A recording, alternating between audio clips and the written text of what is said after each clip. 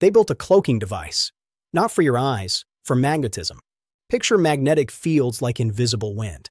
Normally, when that wind hits an object, it swirls and distorts. But with magnetic cloaking, the goal is wild. Make the outside field look like nothing was ever there. And here's the big upgrade. This isn't just for perfect lab shapes like smooth cylinders.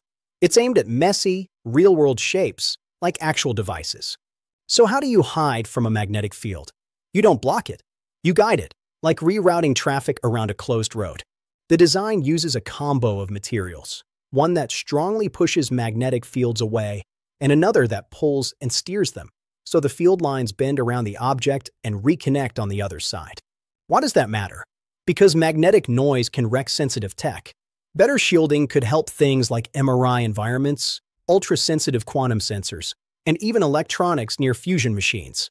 The team says the next step is building and testing prototypes using practical components like superconducting tapes and soft magnetic materials. Quick reality check. This is not invisibility. And unless you're reading the paper itself, don't trust exact numbers like works at X strength or blocks Y percent. But the core idea is real and honestly beautiful. Engineers can shape magnetic fields around real objects, so the outside world barely notices anything changed. If you love mind-bending science, subscribe to SciByte Insights for more.